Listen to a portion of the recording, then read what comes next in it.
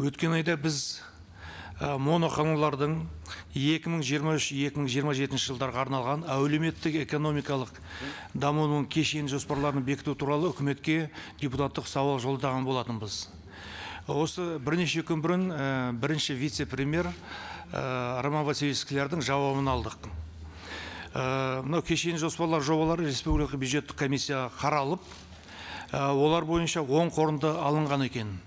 Енді осыған байланысты сұрақтарым.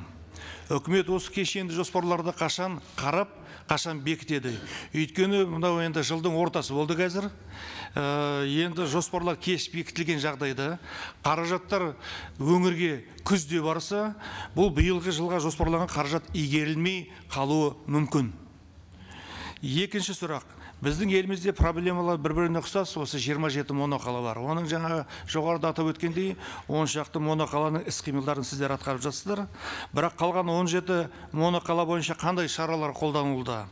Оларда осындай әлеуметтік экономикалық даму кешенді жоспарлары әзірлене ме? Бұл сайлау алдында кездесулер кезінде өңірлерде көп көтерілген мәселе.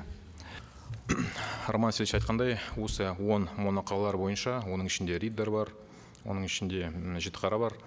Ыыы республикалық бюджеттік комиссияда ы мақұлдаған болатын. Енді біздің мерзіміміз ол шіл- шілде айы. Ы барлық кешенді жоспарлар осы моноқалалар бойынша әзірленді. Енді біз оны қазір тездес ы тездетіп жатырмыз.